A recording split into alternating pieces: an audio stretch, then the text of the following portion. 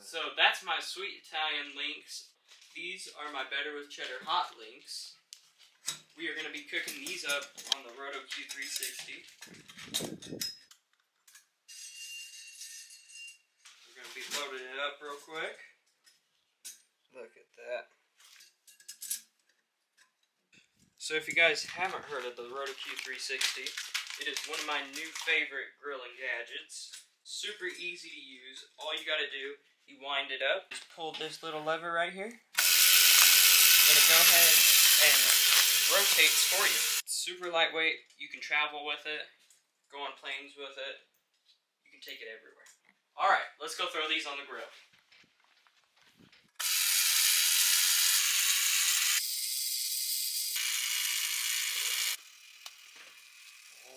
Oh.